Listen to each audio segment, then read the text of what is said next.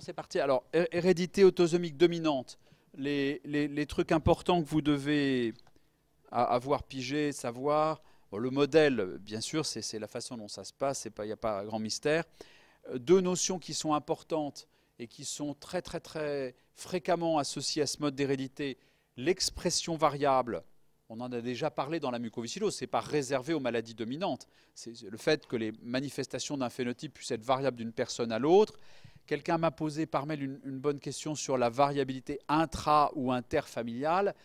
Euh, vous avez bien compris, il y, a variabilité intrafamiliale quand des individus de la même famille qui ont le même génotype, forcément, ils ont les mêmes allèles mutants, dominants ou récessifs, ont des manifestations un peu différentes, ça peut être quantitatif ou qualitatif, et ça suggère immédiatement, si ce truc existe, s'il y a une variabilité intrafamiliale, ça suggère que le génotype au locus morbide, les allèles mutants, ne suffisent pas à expliquer la variabilité puisque ce sont les mêmes. Vous voyez le point de vue Ce n'est pas juste pour décrire un, mot de plus, c'est parce que c'est utile de calculer la variabilité intrafamiliale pour dire les gens qui ont le même génotype se ressemblent tout à fait ou alors peuvent être différents, ce qui laisse suggérer que les facteurs modificateurs ne sont pas les allèles mutants. Inversement, la variabilité interfamiliale, c'est qu'il y a des familles plus graves et des familles moins graves. Et si vous avez de la variabilité interfamiliale sans variabilité intrafamiliale, là, vous pouvez penser au contraire que les allèles mutants peuvent être un élément distinctif qui va euh, conduire à une expression plus ou moins marquée de la maladie. Est-ce que c'est clair ça? Donc c'est à ça que, euh, que, servent ces calculs de variabilité inter ou intrafamiliale. On n'a pas vu les calculs, mais c'est le principe qui est important. Donc expression pénétrance. Les mécanismes de la dominance, c'est un truc vachement intéressant. C'est euh, le, réflexe dans les mécanismes de la dominance, c'est de dire Oh, bah, j'ai perdu euh, un, gène, 50% euh, de l'activité du gène ne suffit pas, c'est pour ça que je suis malade. C'est ce qu'on appelle la perte de fonction. C'est L'instinct nous dit ça. La réalité laisse penser que ce mécanisme n'est pas si fréquent que ça par rapport à ce qu'on peut appeler le gain de fonction. C'est-à-dire que le fait d'avoir un allèle mutant sur une des deux copies euh, peut conférer un phénotype original. La notion ou les notions euh, Janus, euh, un gène peut conduire à plusieurs phénotypes, on l'a vu plusieurs à l'expression mais carrément à plusieurs maladies différentes.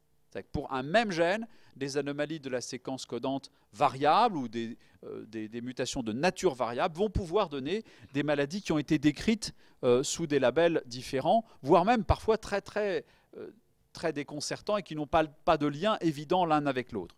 Puis l'inverse, qui est une notion très très importante, on a discuté jusqu'à présent de maladies génétiquement homogènes. La mucoviscidose, il y a un gène, il y a une maladie, il y a des, il y a des mutations, mais il y a un gène pour une maladie, c'est une maladie monogénique. Et puis euh, là, c'est l'idée que parfois, à l'inverse, euh, pour la même maladie, plusieurs gènes sont possibles, plusieurs altérations génétiques sont possibles. Ça s'appelle l'hétérogénéité génétique ou l'hétérogénéité de locus. Ce n'est pas l'hétérogénéité allélique. Hein, l'hétérogénéité allélique, c'est un gène, des allèles différents pour une même maladie. Là, c'est un petit peu l'inverse. C'est une maladie, des gènes différents pour cette maladie. Mutation des novo, c'est une notion très importante avec l'effet de l'âge paternel. Si on y arrive, je vous dirais un, mot euh, des mosaïques et, peut-être de, ce thème qui, concerne essentiellement les mutations somatiques dans le, le, modèle de l'oncogénétique et les mutations somatiques dans le cancer. En avant. Ça va? Vous êtes de moins en moins nombreux. Hein. C'est la grippe espagnole, c'est quoi Qu'est-ce qui se passe? Je vous ai dégoûté gravement. Enfin, c'est pas à vous que je dois dire, vous êtes là. Vous. Bon, alors, modèle des maladies autosomiques dominantes. Bon, c'est le truc archi simple. Un allèle mutant ici, grand A. Euh, cette personne est hétérozygote pour euh, l'allèle mutant. L'allèle mutant suffit à donner un phénotype. Cette personne est donc atteinte, hétérozygote atteinte.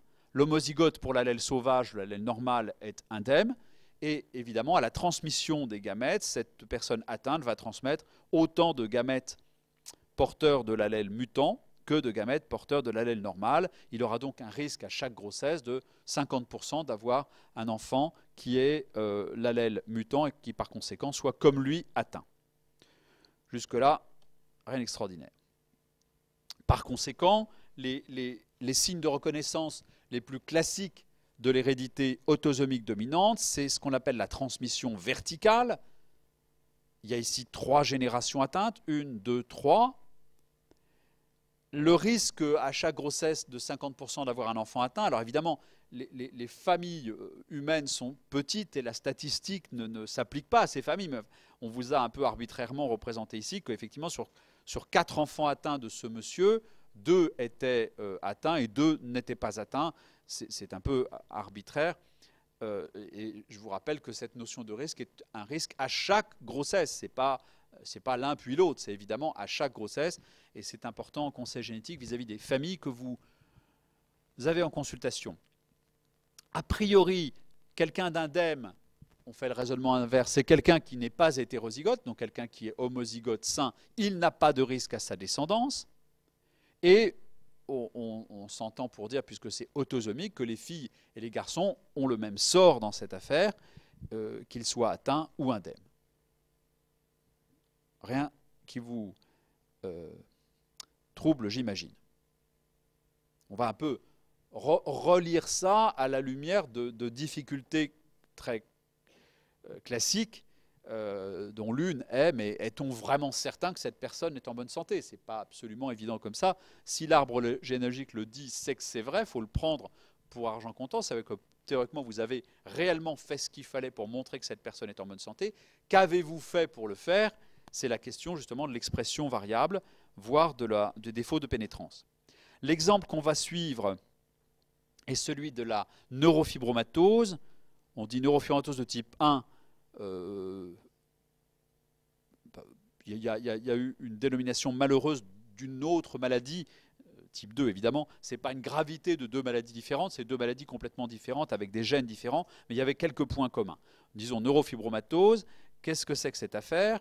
Euh, C'est une maladie euh, d'un tissu embryonnaire qui s'appelle les crêtes neurales, les crêtes neurales, c'est un quatrième feuillet embryonnaire, vous savez, euh, ecto, méso, endoderme. Et puis, à un moment dans la migration cellulaire, vous avez, au moment de la fermeture du tube neural, notez pas ça, ce n'est pas le sujet du cours, mais pour vous expliquer un peu le, rationnel de cette maladie, parce que c'est bizarre d'avoir des, taches sur la peau, des trucs dans l'œil et des petites tumeurs, d'où ça sort ce truc, euh, ça, ça ne fait aucun sens. Si ça fait un sens, si on pense à l'embryologie de cette affaire, ce sont des cellules qui, au moment de la fermeture du tube neural, euh, vont, le, tube neural se ferme comme, comme, une gouttière, donc il y a des berges comme une crête, comme une, vague qui retombe, et ces crêtes, c'est justement l'endroit où se détachent des cellules du neuroectoderme, donc de la, de la, surface épithéliale, et qui vont franchir la membrane basale, la traverser et se mettre à migrer dans l'organisme. C'est quelque chose d'assez exceptionnel comme, comme, comme, tissu, puisque c'est un tissu euh, qui n'est pas déterminé au début, qui va se déterminer, franchir la basale, ce qui est théoriquement interdit, et euh, migrer et se différencier, c'est là où j'en viens à cette maladie, et se différencier dans des euh, lignées cellulaires très très variées. Euh, les mélanocytes, tous les mélanocytes, toutes les cellules pigmentaires de l'organisme, à l'exception des cellules rétiniennes, sont dérivées des crêtes neurales. Les cellules du système nerveux périphérique, donc vous avez mélanocytes, système nerveux, ça fait bizarre, mais c'est l'origine embryonnaire de ces, de ces, populations. Et troisièmement, quelques cellules qu'on appelle euh, paraendocrines, c'est-à-dire des cellules à capacité de sécrétion hormonale, comme les cellules à calcitonine de la thyroïde ou encore les cellules de la médulosurrénale. Ben, cette maladie, la neurofibromatose, est une maladie de la crête neurale avec des anomalies de la pigmentation, mélanocytes, et des petites tumeurs qui ont donné le nom de la maladie neurofibrome. En fait, il y, a euh, là aussi une petite mésentente histologique. Ce ne sont pas des fibromes au sens cellules cutanées, ce sont des neurofibromes, c'est-à-dire des tumeurs nerveuses qui se développent aux dépens de la gaine euh, de myéline des nerfs périphériques, elles-mêmes fabriquées par les cellules de Schwann, les cellules de Schwann étant dérivées des crêtes neurales. Donc tout ça a un petit sens si on pense à l'embryologie plutôt que de penser à la clinique et euh, c'est une maladie progressive avec l'apparition de... Euh, il y a un âge pédiatrique avec des, des taches café au lait et quelques complications qui peuvent être des, neurofibromes de grande taille qu'on appelle les plexiformes euh, ou des, il y en a un sur la diapo là. Ça, c'est ces espèces de, au-dessus de l'omoplate, là, ces espèces de grosses boules un peu molles, c'est des neurofibromes plexiformes.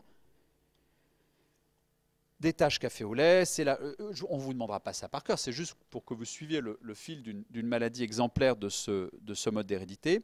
Des petits nodules qui sont des petits amartomes, là aussi développés aux dépens des, des micronerfs qui irriguent l'iris et qui vont donner ce qu'on appelle des nodules de Lisch, L-I-S-C-H, c'est le nom du, du, gus qui a trouvé ça, et qui est un très très bon signe de neurofibromatose, mais à un certain âge.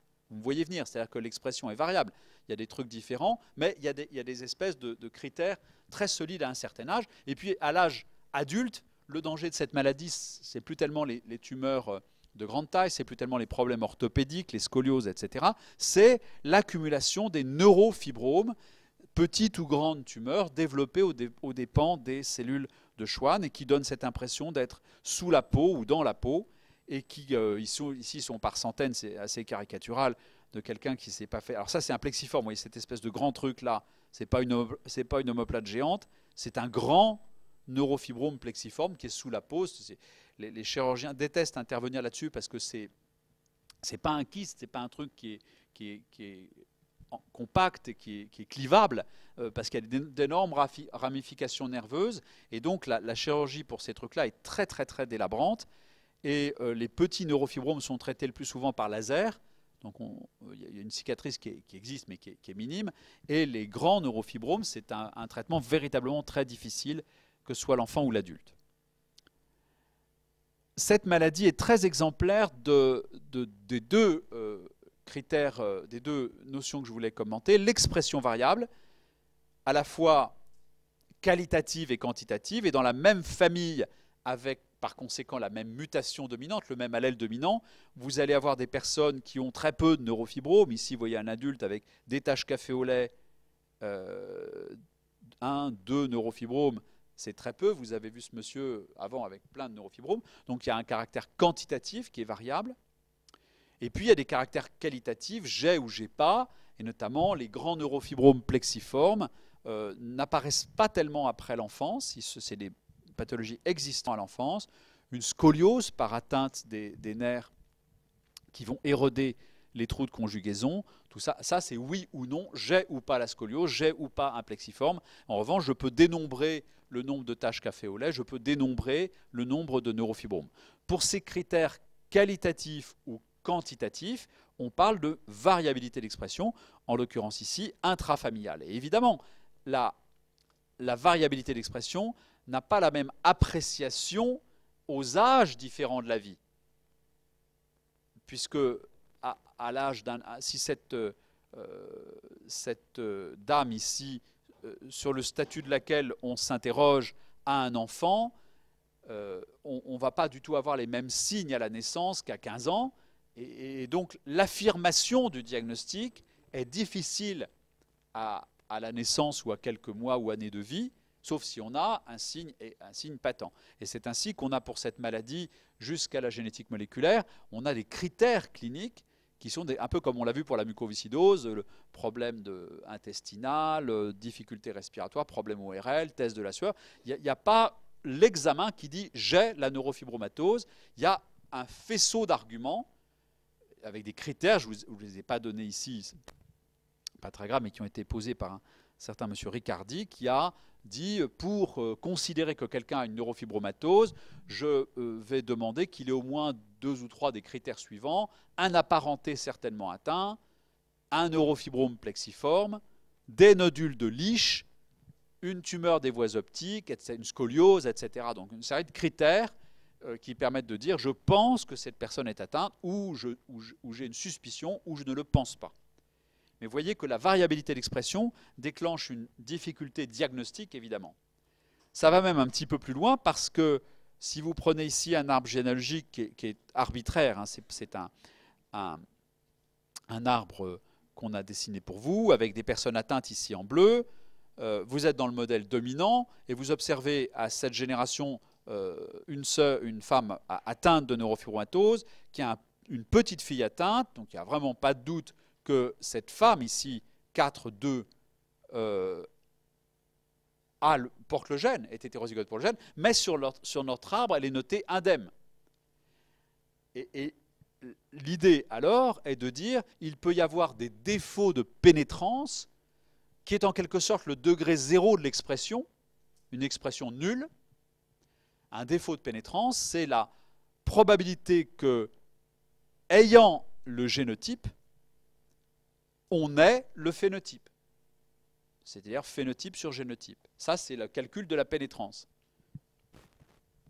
Et si vous prenez cette famille-là, vous dites, mais il n'y a pas qu'elle.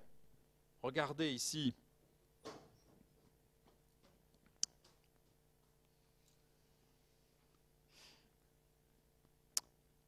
Bon.